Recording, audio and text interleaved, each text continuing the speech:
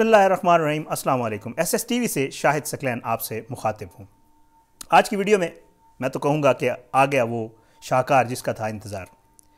جی بالکل، چینی اور آٹا کی جو رپورٹ تھی اسپیشلی آج تو شوگر کمیشن کی جو رپورٹ تھی، وہ آئی ہے۔ اور یہ پاکستان کی تاریخ میں پہلی دفعہ ہوا ہے کہ کسی حکومت نے اپنے دور حکومت میں اور اس سے پہلے جو چینی کی قیمتوں میں اضافہ ہوا اور واضح طور پہ ایک شارٹیج ہوئی چینی کی قیمتوں میں اضافہ ہوا، اس کے اوپر کمیشن بنایا گیا وزیر اعظم کی طرف سے، اور اس کے اوپر انکوائری ہوئی، اور اس انکوائری کی رپورٹ کو پبلک کرنے کا کہا گیا، اور آج وہ رپورٹ پبلک کر دی گئی۔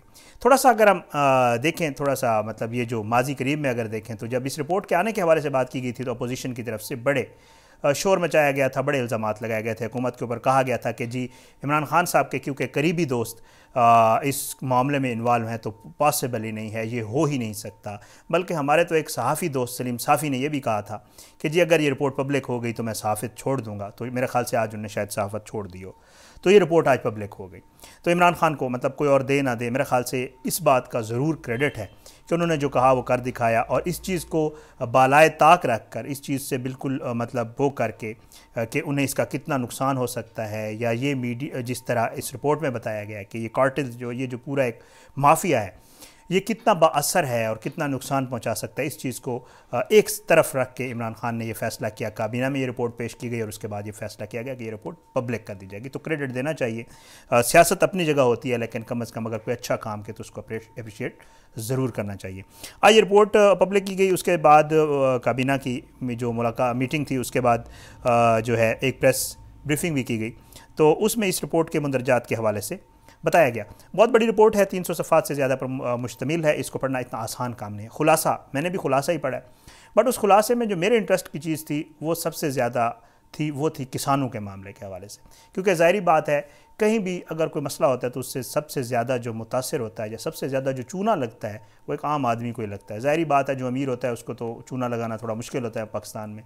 تو اس لیے غریب ہی ہمیشہ جو ہے نا، کیونکہ وہ کہتے ہیں نا کہ رسی ہمیشہ کمزور جگہ سے ٹوٹتی ہے، غریب کے ساتھ ہی یہ سارے معاملات ہوتے ہیں۔ تو میں نے جو زیادہ میرا انٹرسٹ تھا، وہ یہی تھا کہ میں اس میں دیکھوں۔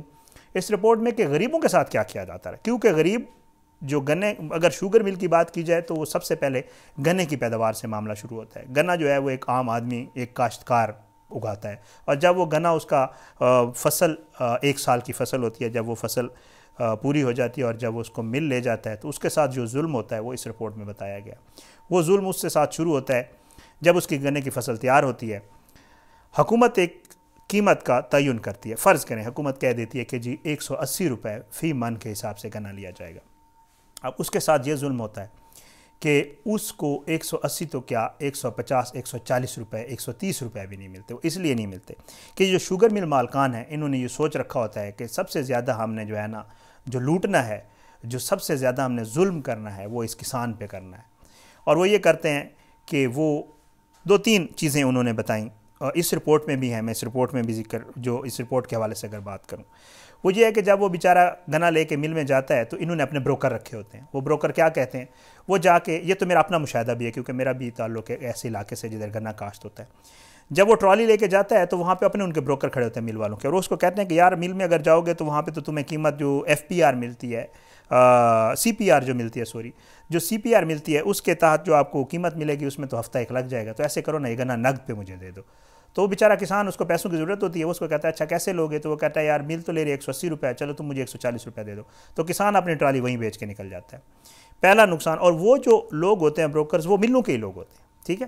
تو مل ادھر ہی چالیس روپے فی من کے حساب سے کسان کو لگا دیتی ہے چونا پہلے سے ہی۔ اگر وہ یہ نہیں کرتا، تو اگلا اگلا جو ہے مرلہ آتا ہے، اس میں اس کو کیسے لوٹا جاتا ہے؟ اس رپورٹ کے حوالے سے بھی بتا رہا ہوں، میرا اپنا مشاہدہ بھی ہے۔ اگلا چونا اس کا اس کو یہ لگتا ہے کہ جی وہ جب جاتا ہے نا، ادھر گنا، پہلے تو گنے کی ٹرالی کو باہر روک دیا جاتا ہے تاکہ اس کا گنا تھوڑا خشک ہو جائے، تھوڑا اس کا وزن کم ہو جائے۔ یہ دو نمبری کی جاتی ہے ملوں والوں کی طرف سے۔ کہا جاتا ہے کہ آگے زیادہ رش ہے تو آپ تھوڑا سا ٹرالی باہر کھڑی کر دیں، تین چار دن۔ تو اس بیچارے کا گنا ویسے ہی خشک ہو جاتا ہے۔ اس کے بعد جی اس کے وزن میں پندرہ سے تیس فیصد کٹوتی کی جاتی ہے۔ ایک مان کے اوپر پندرہ تیس فیصد کٹوتی کی جاتی ہے تو اس کا بیچارے کا پیچھے کیا رہ جاتا ہے؟ اور اس کی اس کی قیمت جس حساب سے ملتی ہے، ملنے سال سال، ڈیڑھ ڈیڑھ سال پیسے نہیں دیتی گنوں والوں کو۔ تو اس میں چینی کی رپورٹ کے حوالے سے اگر بات کروں تو اس میں بھی اسی طرح کی ہی باتیں کی گئی اور اس میں کہا گیا ہے کہ جی کس طرح کسان کو لوٹا جاتا ہے، ایک تسلسل کے ساتھ اس کو نقصان پہنچایا جاتا ہے۔ ایک مافیا ہے جو مل مالکان ہے۔ اور یہ مطلب یہ جو شوگر مل مالکان ہے یہ یہ کرتے ہیں کہ یہ کیونکہ ان کے لوگ حکومتوں میں ہوتے ہیں۔ پھر جو حکومت کے ادارے ہوتے ہیں جنہوں نے ان پہ چیک اینڈ بیلنس رکھنا ہوتا ہے، ان کو یہ پیسے کھلا دیتے ہیں، مسابقتی کمیشن وغیرہ ہے ایف بی آر وغیرہ ہے، اس کا بھی ذکر اس رپورٹ میں کیا گیا کہ کس طرح وہ ادارے جو ہے ان کے ساتھ مل جاتے ہیں اور ان کے ساتھ مل کے وہ بھی کچھ نہیں ہوتا۔ مطلب کوئی نہ کوئی چیک اینڈ بیلنس ہوتا ہے، کچھ نہیں ہوتا، پیسے لے لیتے ہیں وہ لوگ اور سب اوکے کی رپورٹ دی جاتی ہے۔ اس رپورٹ میں یہ بتایا گیا ہے کہ کسانوں کے ساتھ یہ کیا جاتا ہے، ان کی جو گنے کی خریداری ہوتی ہے وہ کم قیمت پہ کی جاتی ہے۔ کٹوتی کے نام پر پندرہ سے تیس فیصد تک ان کی کٹوتی کی جاتی ہے۔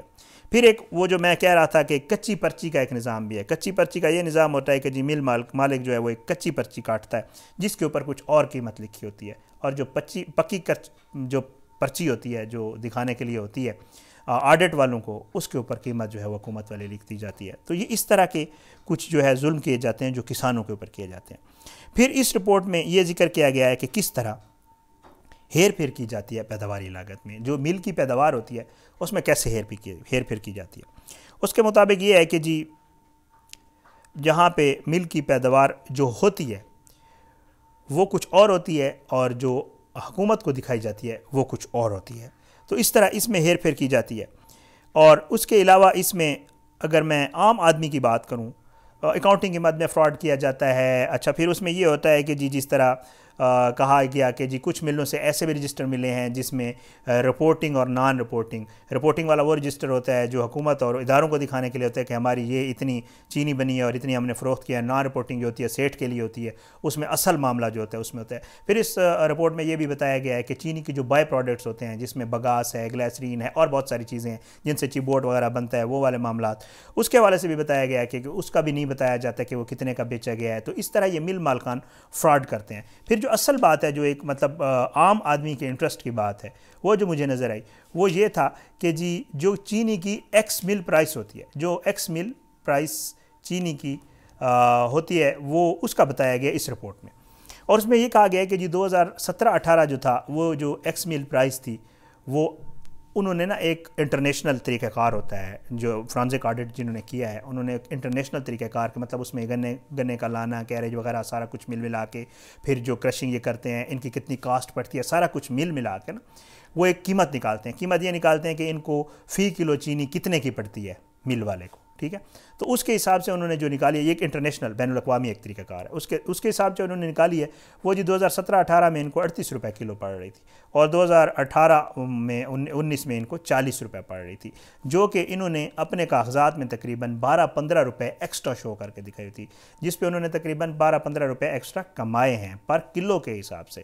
تو اس لیے میں آپ کو ایک چھوٹا سا مطلب ایک آئیڈیا دے دوں کہ کہا یہ جاتا ہے کہ اگر چینی کی قیمت ایک روپیہ بڑھے تو وہ اس میں جو ہے یہ مل مالکان اگر ایک روپیہ بڑھے تو یہ جو مل مالکان ہیں، ان کی پروڈکشن کو اگر دیکھا تھا جو پانچ سو روپے کروڑ روپے کماتے ہیں، اس ایک روپیہ بڑھنے پہ۔ اگر سترہ اٹھارہ روپے بڑھ جائے تو آپ خوب دی اندازہ لگائے کہ انہوں نے کتنے پیسے کمائے ہوں گے۔ اور کہا یہ جا رہا ہے کہ دو ہزار اٹھارہ، انیس میں کو سو ارب روپے سے زیادہ انہوں نے ہماری، میری اور آپ کی جو جانوں سے جو نکالے ہیں، چینی کی مد میں، چینی ہر گھر میں استعمال ہوتی ہے، روز، روزانہ کی بنیاد پہ ہوتی ہے۔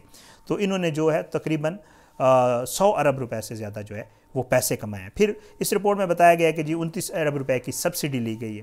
اور اس انتیس ارب روپے کی سبسڈی میں جو دو اشاریہ چار ارب روپے کی سبسڈی ہے وہ موجودہ حکومت نے دی ہے۔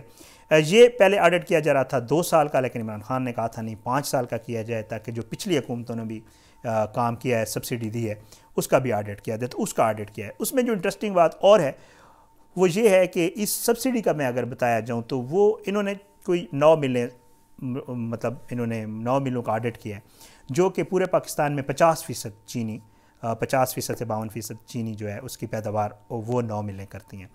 اس میں جو سبسڈی لے گی وہ کو میں سیدھا سیدھا بتا دیتا ہوں، رحیم یار خان گروپ ہے جی یہ اپنے ہمارے خسرو بختیار صاحب کے بھائی ہیں۔ ان کا ہے، انہوں نے تین اشاریہ چورانوے ارب روپے کی سبسڈی لی، یہ وفاقی حکومت سے ہے۔ جمال دین علی، جناب جہانگیر ترین صاحب کی مل تین اشاریہ پانچ ارب روپے کی المعیز گروپ ایک اشاریہ پینتالیس ارب روپے کی سبسڈی اور فاطمہ گروپ ہے دو اشاریہ تین ارب۔ ہمارے جو آپ کے اور ہمارے سابق وزیر اعظم اور وزیر اعلیٰ ہیں، شریف گروپ، ان کی ایک اشاریہ سینتالیس ارب روپے کی انہوں نے بھی سبسڈی لی ہے۔ بیتی گنگا نے سب میں ہاتھ دھویا ہے اور عام عوام کو چونا لگایا گیا۔ اچھا اس کے علاوہ ایک مزے کی بات یہ بتائی گئی ہے اس رپورٹ میں کہ انڈر انوائسنگ کی جاتی ہے۔ انڈر انوائسنگ یوں کی جاتی ہے کہ کھاتا کچھ اور ہوتا ہے، دکھایا کچھ اور جاتا ہے۔ اور ساتھ میں اس رپورٹ میں جو سب سے اچھی بات مزے کی کی گئی ہے، جو مجھے اچھی لگی ہے، وہ یہ ہے کہ ذمہ دار ٹھہرایا گیا ہے باقاعدہ طور پہ۔ ملک مالکان تو ہیں ہی مافیا۔ ان کو تو ایک آ گیا کہ ایک مافیا ہیں۔ یہ یہ کرتے ہیں کہ ان کے لوگ حکومتوں میں بیٹھے ہوتے ہیں۔ اگر ان کے اوپر کوئی ہاتھ ڈالنے کی کوشش کرے تو کہا جاتا ہے۔ اور اس رپورٹ کے وقت بھی باقاعدہ جو واجد ضیاء صاحب ہیں ان کو یہ کہا گیا تھا کہ اگر یہ رپورٹ پبلک کی جائے گی تو ہم چینی مارکیٹ سے اٹھا لیں گے۔ یوٹیلٹی سٹورز کو چینی نہیں دیں گے۔ ہم چینی کی شارٹیج پیدا کر، بہت سارے اس طرح کے جو بلیک میلنگ کے طریقہ کار ہوتے ہیں۔ اس رپورٹ میں بھی یہ کہا گیا ہے کہ جی یہ اسی طرح لوگوں کو ہاتھوں میں کرتے ہیں۔ ایف بی آر کے لوگوں کو مسابتی کمیشن کو، حکومتوں کو ہاتھوں میں کر کے ان کو بلیک میل کرتے ہیں اور کہتے ہیں کہ جی ہماری بات مانیں۔ نہیں تو ہم چینی کی قیمت بڑھا دیں گے اور عام آدمی کی پہنچ سے چینی باہر چلی جائے گی اور آپ کی حکومت کے لیے خطرہ پیدا ہو جائے گا۔ اس حکومت کو بھی یہ کہا گیا کہ جی آپ کے لیے مشکل ہو جائے گی صورتحال کیونکہ بہت سارے لوگ بیٹھے ہوئے ہیں حکومتوں میں جن کی یہ ملیں۔ جہانگیر ترین صاحب بڑے اہم دوست تھے عمران خان صاحب کے خسرو بختیار۔ اچھا اس کے علاوہ چودھری برادران کی ملز بھی اس میں ہیں، شریف برادران کی ملز ہیں۔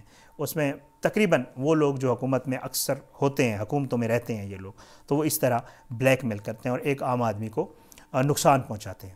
تو یہ آج رپورٹ آئی ہے اس رپورٹ کو پڑھ کے جو ہے نا، آپ کی آنکھیں کھل جاتی ہیں اور دیکھ اور بندہ پریشان ہو جاتا ہے کہ کس طرح ایک عام آدمی کے لیے کتنا مشکل ہے اور کس طرح ایک غریب آدمی جو ایک دیہڑی دار بھی ہے، وہ بھی یہی کرتا ہے ظاہری بات ہے چینی تو وہ بھی استعمال کرتا ہے، اور اس کو بھی نا دیہڑی دار کو بھی یہ جو مل مال خان ہے یہ دیہڑی دار کو بھی لوٹنے سے گریز نہیں کرتے۔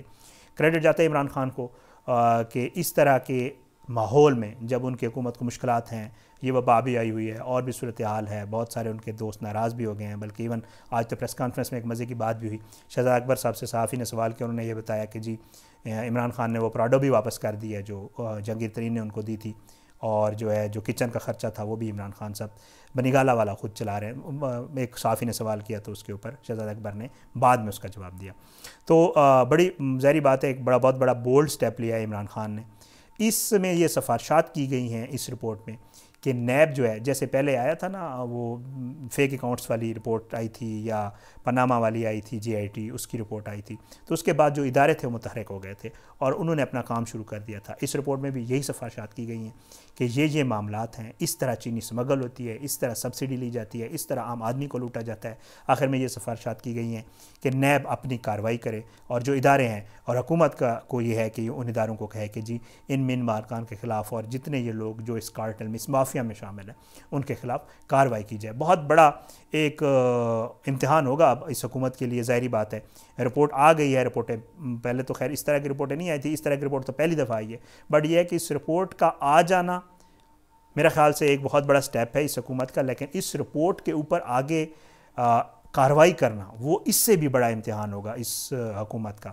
تو اب دیکھنا یہ ہے کہ یہ حکومت اس رپورٹ کے حوالے سے آگے کیا کاروائی کرتی ہے۔ دوسرا بڑا ایک سٹیپ لیا عمران خان نے، جاتے ہوئے اس کا بھی ذکر کرتا جاؤں، وہ یہ ہے کہ انہوں نے اپنے معاونین خصوصی جو ان کے ہیں، جو ظاہری بات ہے ان الیکٹڈ لوگ ہوتے ہیں ان کو کہا ہے کہ جو اپنے اثاثے سے ڈکلیئر کریں، یہ بھی ایک بہت بڑی بات ہے، کیونکہ ان کے معاونین کے حوالے سے باتیں آ رہی تھی کہ ان کے معاونین جو ہے وہ بہت بڑے بزنسز میں انوالو ہیں، بہت زیادہ اثاثے ہیں اور اثاثے ان کے ان کی جو انکم ہے اس سے زیادہ ہیں۔ تو ان کو کہا ہے کہ جی اپنے اثاثے ڈکلیئر کریں، یہ بھی بہت بڑا بہت بڑا بولڈ سٹیپ لیا عمران خان صاحب نے۔ آج کے دن کی یہ دو بہت بڑی خبریں تھیں۔ اس رپورٹ کو ابھی مزید کیونکہ پڑھنے کی ضرورت ہے، بڑی چیدہ چیدہ چیزیں لوگ اس کی بتا رہے ہیں اور میں نے بھی بڑی چیدہ چیزیں بتائی ہیں۔ یہ رپورٹ پڑھیں گے تو مزید اس میں انکشافات ہوں گے کہ کس طرح کیا کیا کیا گیا ہے۔ بہت بڑا سٹیپ ہے اور بہت بڑا آگے امتحان ہوگا کہ اس کے اوپر کیا کاروائی کی جاتی ہے۔ آج کی ویڈیو سے اتنا ہی۔ اگلی ویڈیو تک کے لیے مجھے اجازت دیں۔ آخر میں کہوں گا، میرے YouTube channel S S T V کو سبسکرائب کریں۔ میں آپ کا بہت شکر گزار رکھوں، رہوں گا۔ اپنا خیال رکھیے گا۔